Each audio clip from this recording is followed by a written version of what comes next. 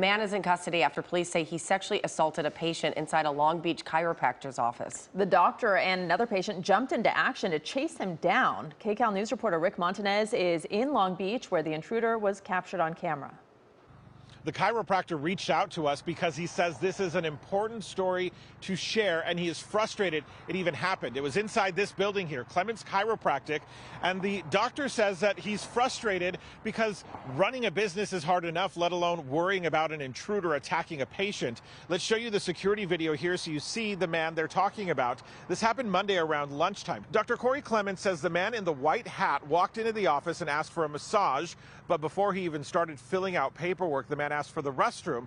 He was directed there, but then instead of going to the restroom, the video appears to show him lurk around the office. Dr. Clements says the man went into a patient room and touched someone in there, but then left that room, went into another room, and that is where things turned dangerous. He says the man began to sexually assault a patient who then began screaming and yelling for help.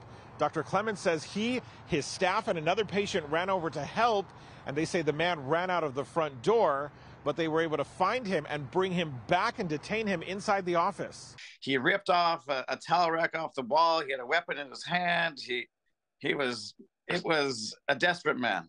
They held him in the office and then called 911. Long Beach police showed up and arrested the man. They say the victim had to go and identify her attacker with police and she was sobbing during all of this. He says he's sharing this story because he wants other business owners and people who live in the area to be aware of what's going on and to always be on alert.